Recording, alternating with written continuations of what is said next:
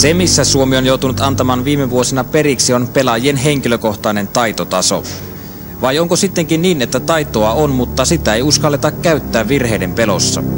Ja kuinka paljon maajoukkueen nykyinen pelitapa kahlitsee tätä taitoa?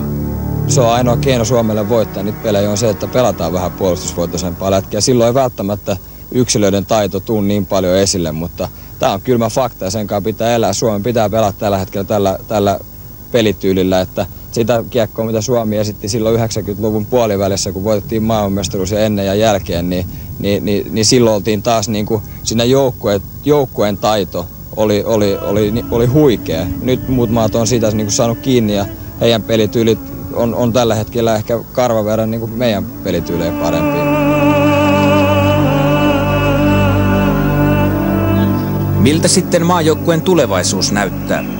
Nyt MM-joukkueessa oli seitsemän ensikertalaista ja kuusi 80-luvulla syntynyttä pelaajaa. Aika näyttää, millaisen roolin he Suomi-paidassa ottavat. Kyllä varmaan, jos miettii omaa ikäluokkaa, eli 83 syntynyt, niin varmaan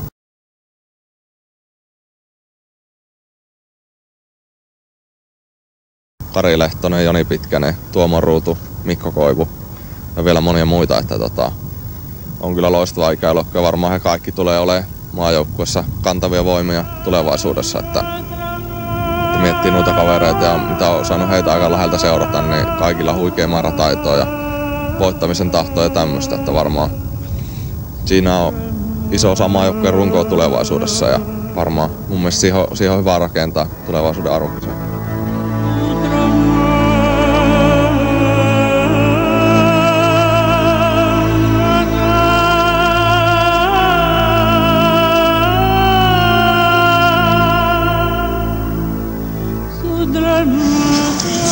Niinpä, niin siinä kävi, että Suomi...